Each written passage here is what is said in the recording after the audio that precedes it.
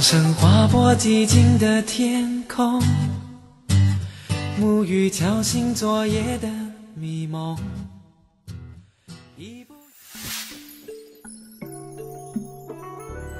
各位佛光人，各位观众，大家新年好！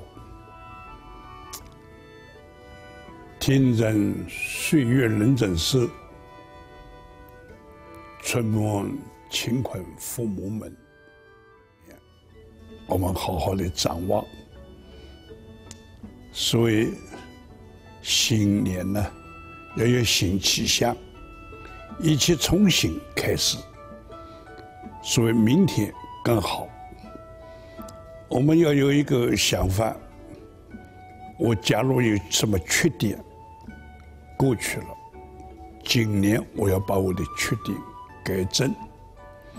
假如说我过去有什么没有完成的，那么今年一个好的时光，我好好的掌握。尤其我们推动人间佛教，人间就大家要幸福，大家要安乐，大家要所以这个欢喜发财，发财也不一定啊。只是这个金钱的发财，我们健康就是发财，我们平安就是发财，我们欢喜就是发财，我们有人缘，可以说就是我们的财富，我们有智慧、有慈悲、有佛法，都是我们的财富。所以，每逢到春节过年，大家都。恭喜发财！其实财在我们自己的心里，发心就是发财。